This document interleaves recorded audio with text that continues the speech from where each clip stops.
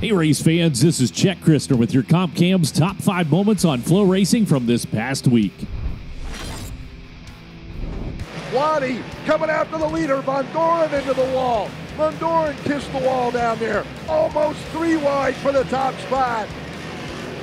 Last race of the year for the modifieds, and they're making it one to remember here at Bridgeport. It's a fierce and feisty feature for our number five during Bridgeport Motorsports Park's High Bank Classic. Craig Von Dohren has given everything he's got trying to hold off Ryan Godown, swapping the lead one, two, three, four times before Ryan Watt arrived on scene and gave it the old application of persuasion on the side of Godown and took second away. Von Dohren would bounce the cushion, getting Godown back into the mix. And then the two Ryans would then go head to head with Ryan Godown, eventually picking up his ninth Bridgeport big block win of the season before packing up the holler and heading south for the Short Track Super Series Cajun Swing this week.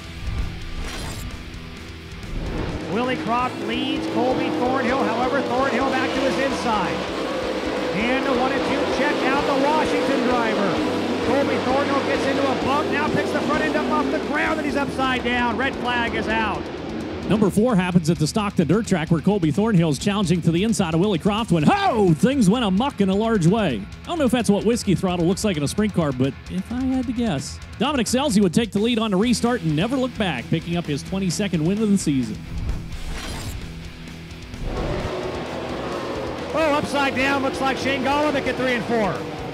Justin Sanders, Dominic Scelzi also had a piece of that. It's the 38th annual tribute to Gary Patterson at Stockton Dirt Track for our number three, where the NARC King of the West Series and Sprint Car Challenge Tour are running their final events of the season. Shane Golobic and Dominic Scelzi are battling in the SCCT feature when Scelzi slips to the outside of Golobic and is out of there. Shane eventually ran down Scelzi in traffic, however, and was able to slip to the outside and into victory lane in the 360s.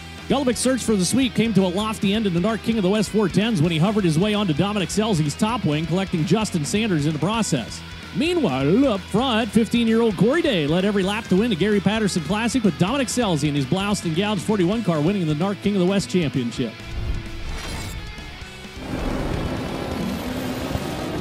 All right, both cars leaving line. Speed as they travel. That should be a 10 Oh, no! Hang on to it! Into the wall the big end in the left lane. 909 for Hairston right there. Our number two happens in qualifying round number two at Maryland International Raceway's World Cup Finals. Edgar Rivera's been racing his 96 Honda Integra since 97, but unfortunately he's about to suffer a major setback in the left-hand lane. Edgar grabs fourth, and little Honda the Could lifts ahead because, as Barrett would say, Edgar likes to run all the boost. The resulting miss kicks the tail of the car loose, and unfortunately Edgar's not able to get back underneath of him again. Oh, Jake goes a little wide. Brady Bacon tries to go to the inside. End of turn number three. Jake gonna run it wide out going through three. Jake Swanson inches ahead. Checker flag gonna come down. Wind goes to. You picture that one. And our number one is Perris Auto Speedway's USAC Oval Nationals. Thursday's opener and Kevin Thomas Jr. is leading on the last lap when Jake Swanson throws caution to the wind and just hucks it into turn number three. Brady Bacon sees an opening on the inside, and that, my friends, gives us a three wide photo finish at the line with Jake Swanson picking up his first national win by less than the blink of an eye. Night two, and Justin Grant looks to have the field covered when he suddenly loses steam going into the final lap. A broken nozzle line steals his thunder, and national points leader Brady Bacon would slip through to pick up the win. Night three, and Justin Grant is again up front when Kevin Thomas Jr. charges through on the inside and picks up his third Oval Nationals win, which puts him just 52 points back from Bacon going into Arizona Speedway's Western World Weekend.